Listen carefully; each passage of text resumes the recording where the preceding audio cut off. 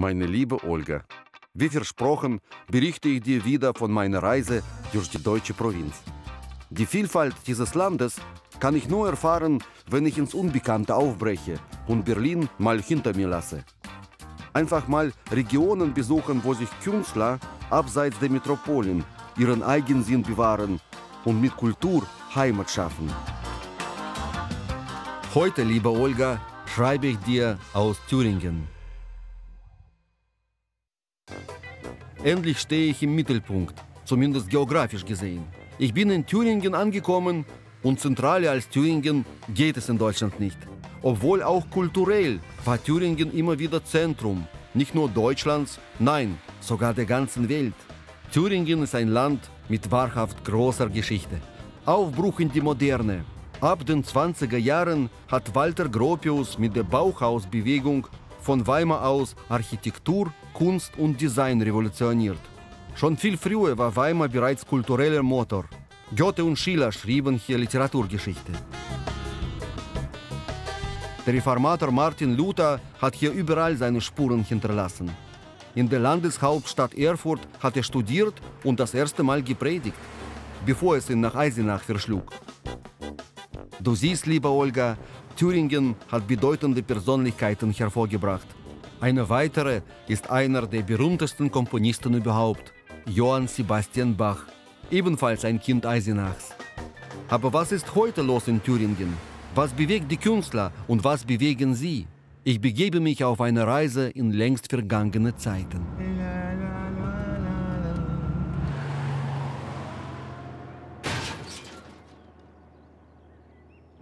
In Jena treffe ich die Mittelalter-Rockband In Extremo.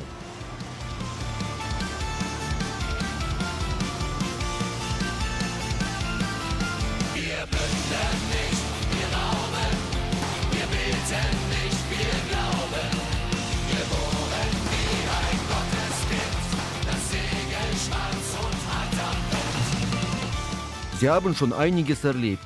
Touren in alle Welt, Nummer 1 Alben und zum 20-jährigen Bandjubiläum gab es sogar ein eigenes Festival.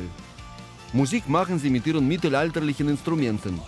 Hier in Jena geben sie das erste Konzert ihrer Tour zum neuen Album. In einer Probenpause treffe ich Frontmann Michael und Harfenist Dr. Piemonte.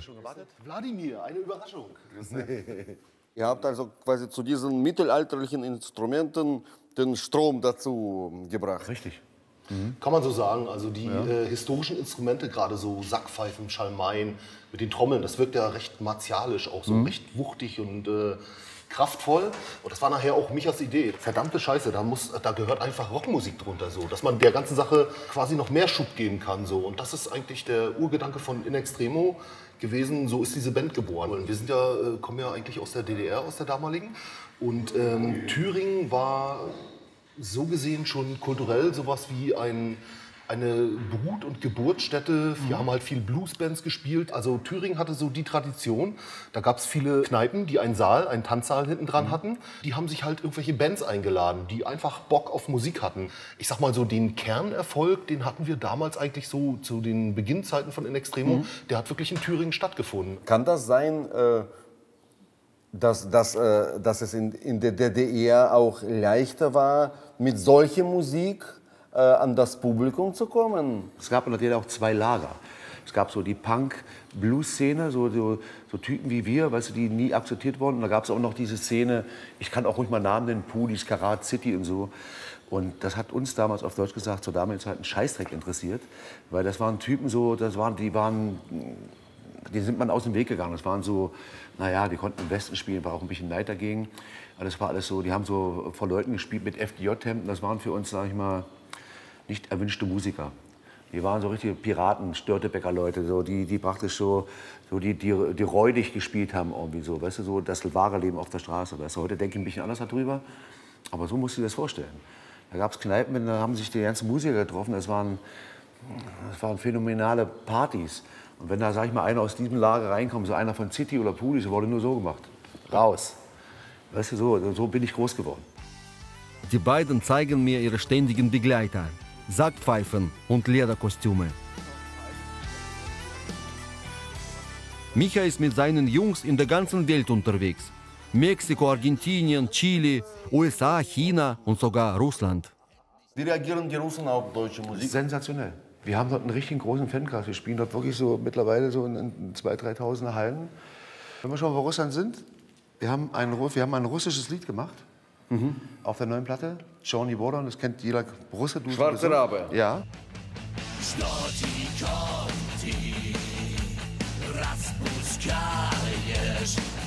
Echter Mittelalter-Metal. Man kommt sofort ins Schwitzen.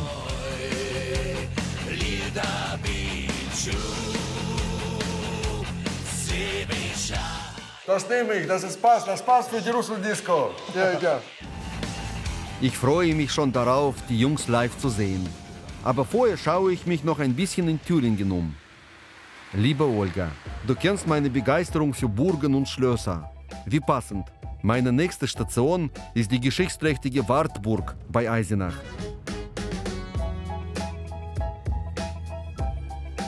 Und da ist er schon, mein nächster Gastgeber, Volker Hedwig. Der Ureisenacher ist Maler und Grafiker, ein wahrer Teufelskerl. Statt den Teufel zu verjagen, wie einst Luther, schwingt Volker den Graphitstift und macht Luzifer zum Protagonisten seiner Kunst.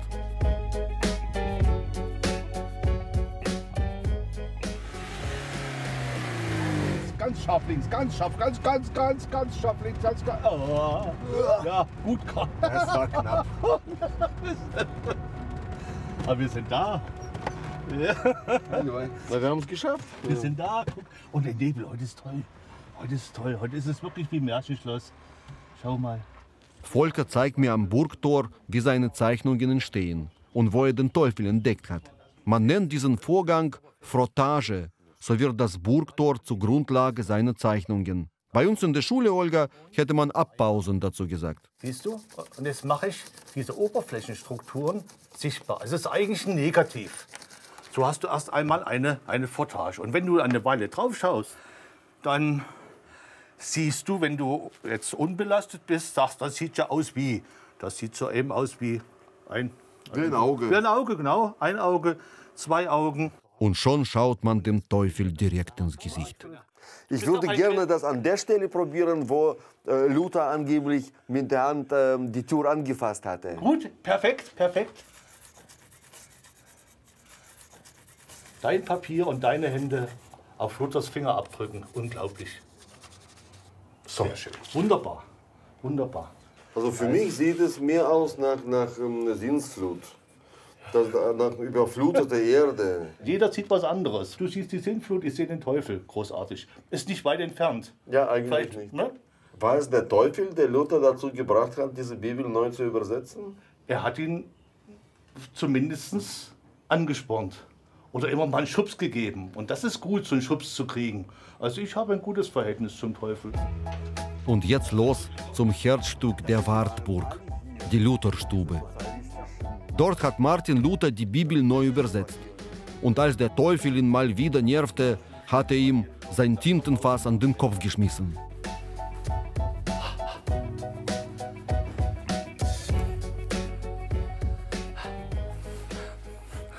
Riech mal. Mensch, das riecht nach der Geschichte, Es ja, riecht nach, nach- der Geschichte des Landes. Und hier hat Luther also, Hier hat er gesessen. Hier Das hat er heißt ein gesessen. Büro. Der Das war, das war sozusagen sein Büro, wo er geschrieben hat, Briefe und natürlich die Bibel übersetzt hat. Das war genau hier. Das ist sein Platz, da hat er gesessen. Und willst du dich mal dran setzen? darf man das? Ja, wir dürfen alles. Hm? Und? Spürst du was? Ja, das ist hart, Ja. das motiviert zum Arbeiten. Nur in dieser Sicherheit des Hierseins, des Abgeschiedenseins, des Gutversorgtseins kannst du sowas machen. Kontinuierlich etwas arbeiten. Ansonsten kommt immer, das Leben stellt immer mal eine Richtungsänderung. Ich kann auch wegen dieser Fernseharbeit überhaupt nicht schreiben. Weil von früh bis spät es, sind wir. Es geht auch nicht immer. Ich habe auch Phasen, äh, wo ich wirklich Wochen, Monate lang arbeite. Und dann gibt es Wochen, wo ich sitze und merke, es geht nicht. Da brauchst, du brauchst einen Anstoß.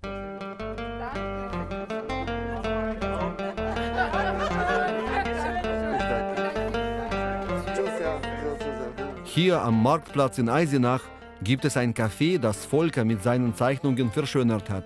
Keine Zeit für Kaffee und Kuchen, es geht direkt ans Eingemachte. Und es bleibt irgendwie mystisch. Der Märchenbaum hier hätte bestimmt einige spannende Geschichten zu erzählen. Das hast du von der Tür gemacht? Das Nein. habe ich von der Tür gemacht. Pass auf, ich stelle es mal hoch. Das ist von dem Tor, wo wir heute früh die Frottagen gemacht haben. Hier siehst du die Strukturen. Das Holz habe ich also gelassen und da ist es überall noch zu sehen. Und ich habe nur das gezeichnet, was ich gesehen habe da drin. Volker, ein sehr schönes Bild. Diese Menschen, als würden sie aus der Tiefe der Geschichte durch die Tausende von Jahren schauen. Und da ist er, Luzifer höchstpersönlich. Ich glaube, Luther wollte die Menschen bessern und der Teufel wusste, das wird nicht funktionieren. Und deswegen hat er quasi ähm, die ganze Zeit dabei gelacht. Jetzt muss mir Volker noch verraten, woher er seine Inspiration holt. Was gibt dir äh, diese Landschaft, also die Geschichte deiner Region? Ist sie wichtig für, für deine Kunst? Es ist wie eine romantische Inszenierung. Wir haben hier alles. Wir haben die alte Stadt. Also du fühlst dich wie eine Art Märchenfigur. Ja. Ja, und, und alles, was um uns herum ist, erzählt Geschichten. Und ich sammle Geschichten. Und erzähle dann in meinen Zeichnungen die Geschichten wieder. Ich sehe mich eher als Geschichtenerzähler, also als Zeichner oder als Maler.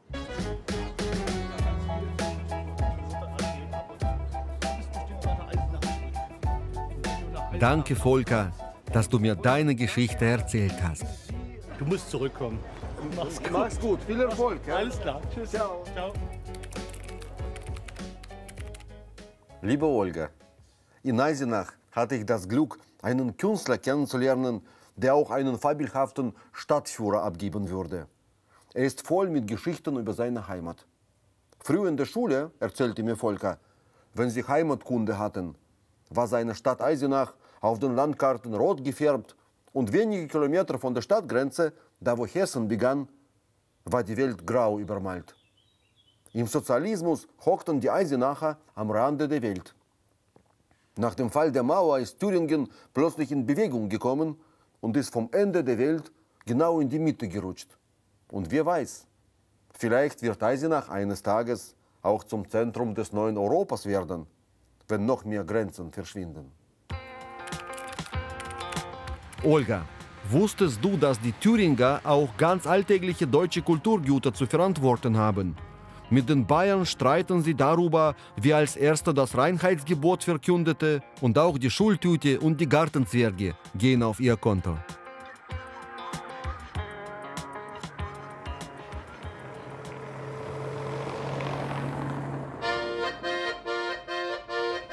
Und wo wir schon bei Kulturgütern sind, ab nach Weimar.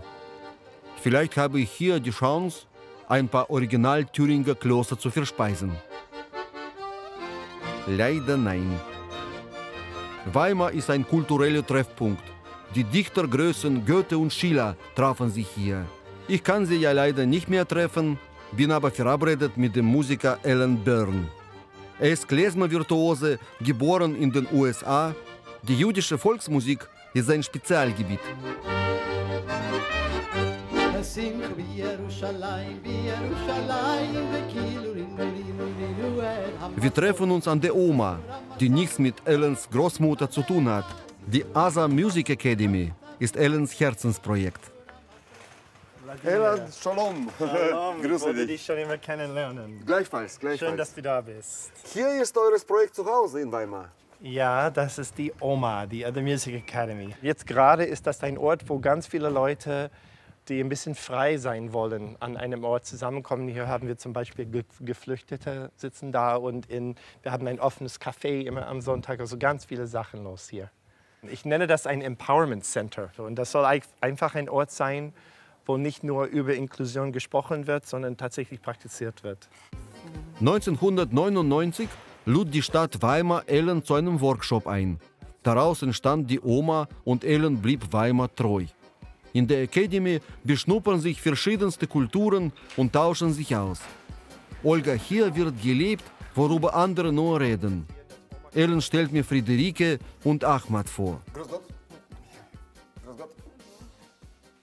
Ahmad, seit wann bist du in Deutschland? Ich bin seit sechs Monaten in Deutschland. Und schon hast du so cool Deutsch gelernt. Das ist unglaublich. Ich lerne jeden Tag sieben Stunden zu Hause. Ich habe gesehen, du versuchst Friederike Arabisch beizubringen. Ja, wir Funktioniert lernen zusammen Deutsch und Arabisch. Super. Also In Tandem, ne? Ja. In Tandem. Na, auf diese Weise kann man ja schneller einander verstehen, wenn beide Seiten lernen. Das ist natürlich Klar, das ist super. Das ist wahrscheinlich die wichtigste Bedeutung ja, dieses soziokulturellen Zentrums, die Menschen zusammenzubringen, genau. damit sie einander endlich zu Gesicht bekommen. Oder nicht? Ja, doch, dass sie sich ergänzen, dass sie einander Sachen beibringen können, dass sie tatsächlich Erfahrungen austauschen können. Und du, Friederike, wie, wie, hast du dieses Haus gefunden? Ich wollte eigentlich schon vor zwei Jahren oder so Arabisch lernen und da gab es nur einen Kurs, der sehr viel Zeit in Anspruch genommen hat. Und dann dachte ich, ja, naja, ist in beide Richtungen halt gut. Dann kann ich was beibringen, lerne was. Aber sechs Monate ein Rekord. Ja, das ist. Das ist wirklich gut. Nicht schlimm. Mr. Klesma, wie Ellen hier genannt wird, hat den Yiddish Summer gegründet und fest im Kulturleben Weimars etabliert. Was macht diese idyische Kultur aus? Jiddisch ist die Sprache von Juden, die vor 1000 Jahren ungefähr im Rheinlandgebiet gelebt haben. Das waren deutschsprachige Juden quasi. Ne? Und Jiddisch war ursprünglich eine Art Judäodeutsch. Dann ab 1400, 1500, wegen Pogromen und anderen Geschichten, sind fast alle Juden aus diesem Gebiet nach Osten gegangen, sodass eigentlich Emigration und Auswanderung ein total wichtiger Teil der jiddischen Erfahrung ist, Kultur seit 1000 Jahren. Und die haben diese Kultur mitgenommen. Die haben ihre Kultur mitgenommen nach Polen, später nach Rumänien, In die Ukraine. nach in die Ukraine, auf jeden Fall in die Ukraine. Und dort, weil Jiddisch immer eingebettet ist in eine andere Kultur von anderen Völkern vor Ort, dann kommt ganz viele andere Sprachen und Kulturen und andere Elemente dazu. Das heißt, wenn man möchte, Jiddisch ist wie ein roter Faden, was gleichzeitig ein Sammelbecken ist und immer Einflüsse aufnimmt. Später tritt Ellen noch mit dem Sema Ensemble auf. Dort ist er Kapellmeister und bearbeitet virtuos Piano und Akkordeon.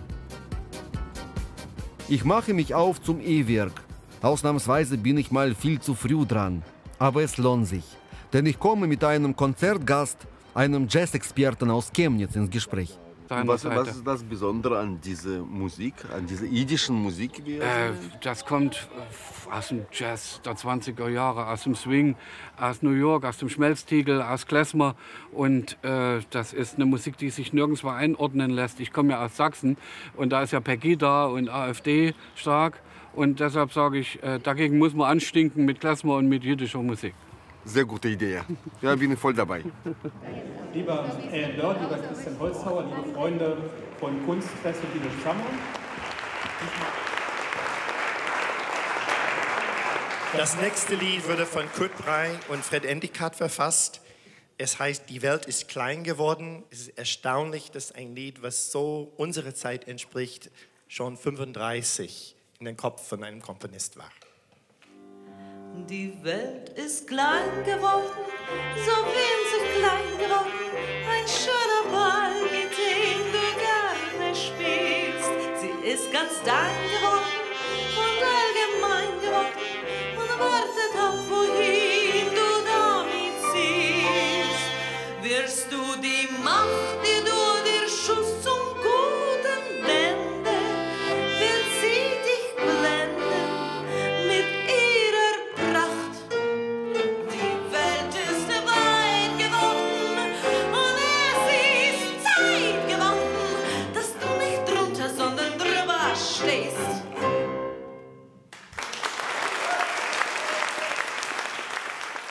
In dieser Ballade aus den 30ern soll schon damals der negative Einfluss einer technologisierten Welt besungen worden sein. Wie passend also, dass meine nächste Station die Stadt Jena ist, eine absolute Hochburg der Erfindungen und Patentanmeldungen. Dass hier so viele helle Köpfe leben, könnte ein Grund dafür sein, dass sich Jena den Titel Lichtstadt gegeben hat. Auch Goethe forderte mehr Licht in der Stunde seines Todes, so sagt man. Der Dichterfürst wäre wohl begeistert gewesen von Videokünstler Robert Seidel. In Südkorea hat er ganze Häuser in ein Lichtkleid gesteckt oder Skulpturen eine neue Oberfläche verpasst. Ich treffe Robert im Philetischen Museum in Jena. Die Philetik beschäftigt sich mit der Stammesgeschichte und Evolutionstheorie. Ein Naturkundemuseum sozusagen. Robert, Hallo, Wladimir. grüß Gott. Willkommen im Philetischen Museum. Ähm, danke für die Einladung. Du machst Lichtinstallationen Ich mache hier Lichtinstallationen in Jena. in Jena und überall. Du hast auch Biologie studiert. Ich habe ein paar Semester Biologie hier studiert in Jena.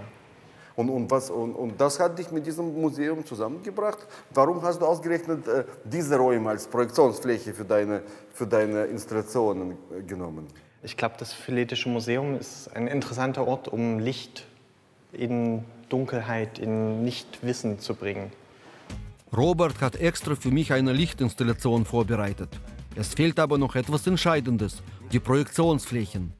Und dafür graben wir jetzt Knochen im Keller des Museums aus? Hier haben wir irgendwie große Schädel, die eine große Fläche bieten. Soll ich? Äh, du kannst es gern versuchen. Die sind sehr schwer und äh, auch empfindlich. Vielleicht. Ähm, Doch nicht? ja, nein. Also, wenn kriegst du den Ärger. So ein Schädel wiegt gefühlte 20 Kilo. Ich frage mich, was Robert damit vorhat.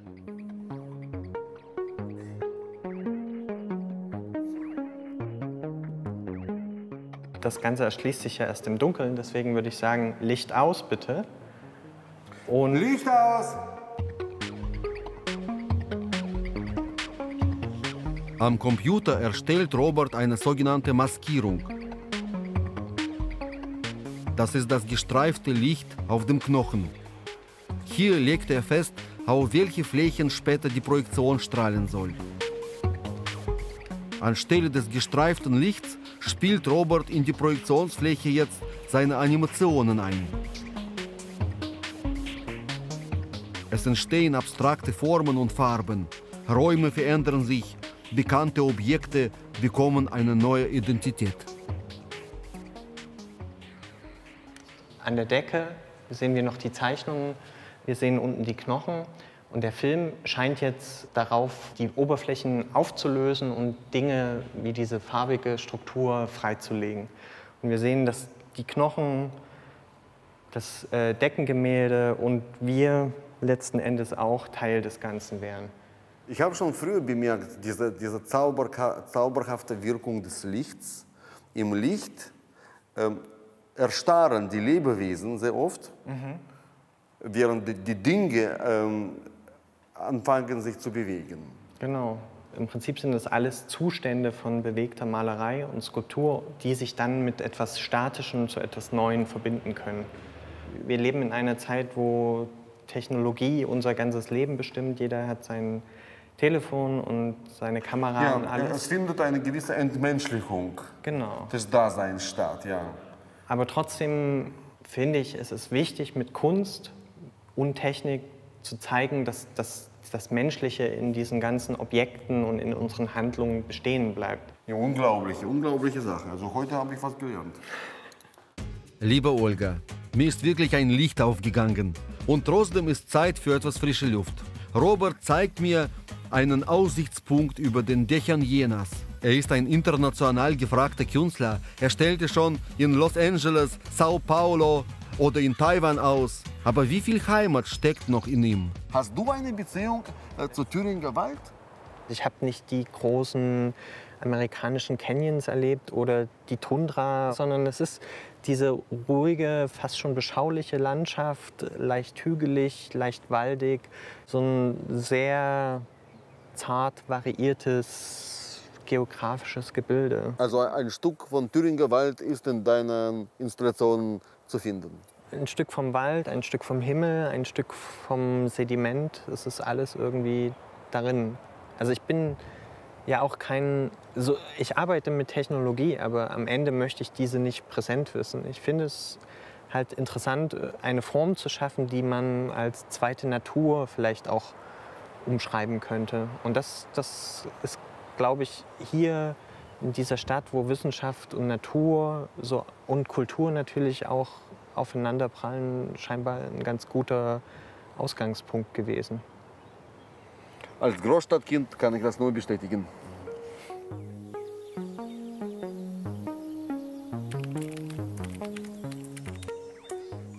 Liebe Olga, im Keller des Philetischen Museums in Jena stehen Millionen Jahre Evolution in den Regalen.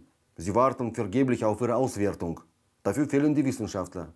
Aber zum Glück gibt es Künstler, die sich für sie interessieren.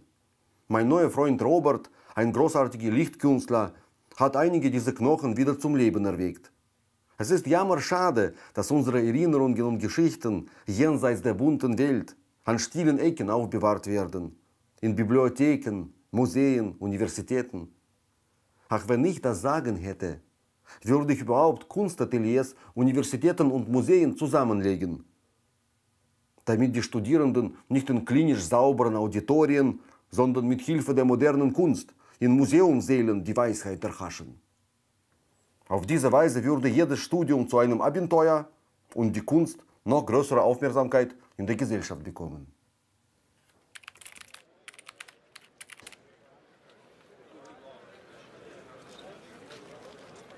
In Jena gibt es dann noch ein Wiedersehen mit Micha und seinen Jungs von In Extremo und mit seiner Anhängerschar.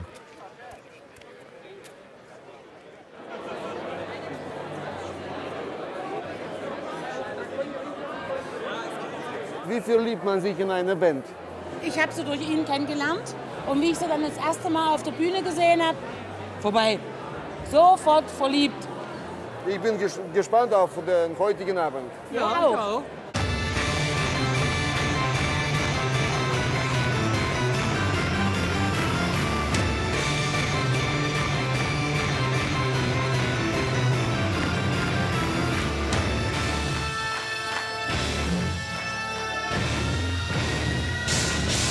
Wir blünden nicht, wir glauben.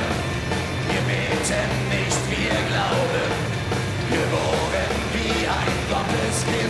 das Segel schwarz und hart am Wind. Wir blünden nicht, wir